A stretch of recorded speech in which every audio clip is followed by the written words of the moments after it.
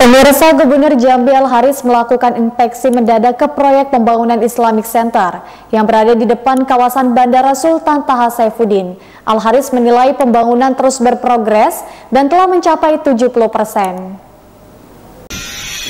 Dalam rangka memastikan proyek berjalan dengan baik, Gubernur Jambi Al Haris melakukan sidak pembangunan salah satu proyek multi-years yakni Islamic Center yang berada di depan kawasan Bandara Sultan Taha Saifuddin. Sidak ini dilakukan pada Minggu 23 Juni 2024 bersama Karo Umum dan pejabat eselon 3 lainnya. Gubernur Al-Haris melakukan pemantauan ke seluruh sisi mega proyek tersebut, yang di mana saat ini dalam tahap pemasangan kerangka atap dan pemasangan keramik. Adapun dari tinjauannya, Gubernur menilai bahwa pembangunan ini telah mencapai 70 persen dan pihaknya optimis pembangunan akan selesai tepat waktu, seiring dengan masa kontrak yang akan selesai pada Desember 2024 mendatang. Pak kemarin ninjau Islamic Center progres. Ya, jadi kemarin saya ninjau Islamic Center.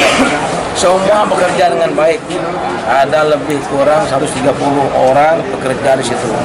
Saya lihat kemarin, alhamdulillah kondisinya bekerja terus, progresnya baik. Tinggal lagi memang kendalanya pemasangan yang atas, rangka baja di atas. Dan bisa hanya dua kren, saya minta tambah kerennya, ya kan? Karena juga beratnya kan uh, lebih dari satu setengah ton. Pasti kerennya juga dari yang besar. Ini kita terus. Artinya adalah kita berharap memang bahwa Desember 2024 itu selesai semua pembangunan daripada uh, proyek uh, center itu juga sama karena stadion juga sama ya.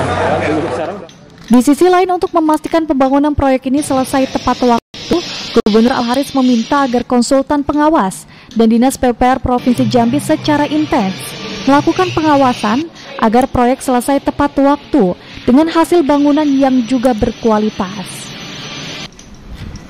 Nur Pehatul Jannah, Jambi TV